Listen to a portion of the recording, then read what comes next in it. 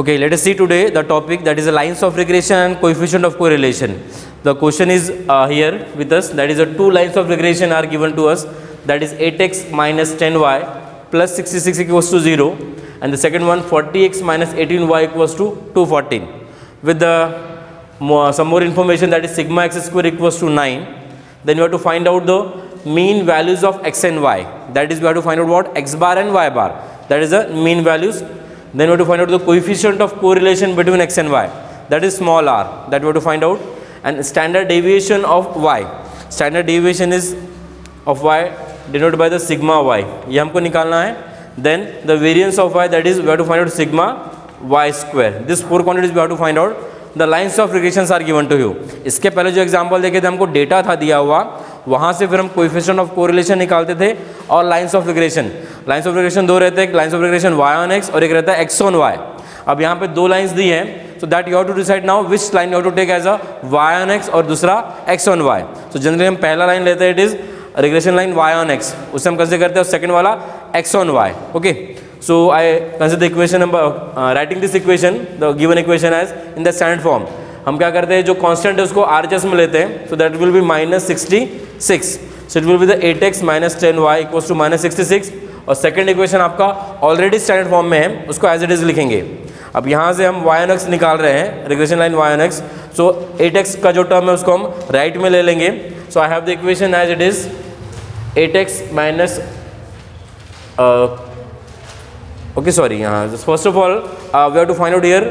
mean values of x and y so that will find out their better way उसके बाद फिर हम निकालते हैं, that is coefficient of correlation so we know that one more thing that is we have to just remember that is lines of regression always passes through the mean values of it is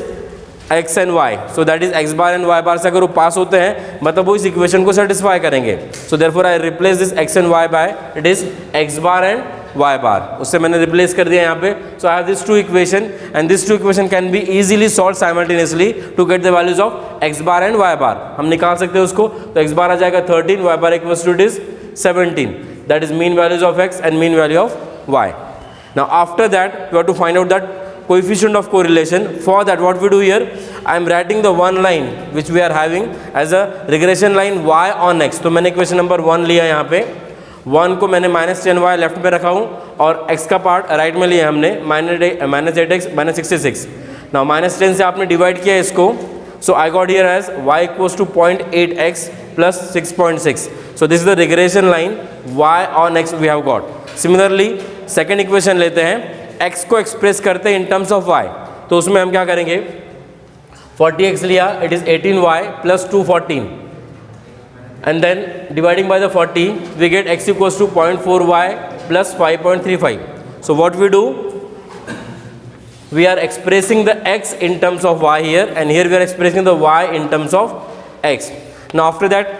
comparing this quantity with the standard form standard form क्या होता है हमारा? अगर Y on x है तो y equals to a one x plus a zero if you compare a one is point eight वैसे same यहाँ पे अगर हम कंपेयर करेंगे we express x in terms of y stand form से हमने कन्वर्ट किया सॉरी कंपेयर किया. So x equals to b one y plus it is b zero so compare करेंगे तो you get that is value of b one as it is point four five okay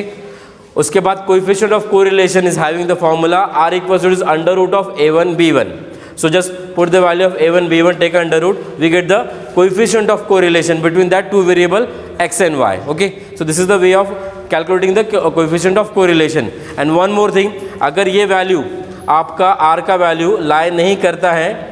minus one और plus one के बीच में that means जो आपने जो regression line choose किया हुआ है, वो गलत है। आपको फिर रिग्रेशन लाइन इंटरचेंज करना पड़ेगा। मतलब जो आपने पहले वाई एन एक्स लिया था, उसको आपको एक्स एन वाई लेना पड़ेगा और जो आपने एक्स एन वाई लिया था रिग्रेशन लाइन उसको आपको वाई एन एक्स लेना पड़ेगा, ठीक है? That change you to make then if r does not lies between minus one to plus one अगर लाई करता है then this is correct okay whatever you have taken Now, after that, it is asked to find out it is coefficient of correlation, sorry, standard deviation of y. So, for that, we are having a regression coefficient y on x the formula is a1 r sigma y by sigma x. We know the value of a1 already calculated then we know the r it is 0.6 sigma y sigma x we know it is what 3 So just sigma y we have to find out here. Sigma y equals to then 3 goes here, 0.6 goes here. Just calculate, we get it is value as 4. So which is nothing but the standard deviation of y. We have to find out the variance of y. So just take a square of the standard deviation. We will get the variance. Sigma y square equals to it is 60. Okay. So this is the way of solving the example on it is coefficient of correlation and lines of regression uh, if they are given. Okay. Thank you.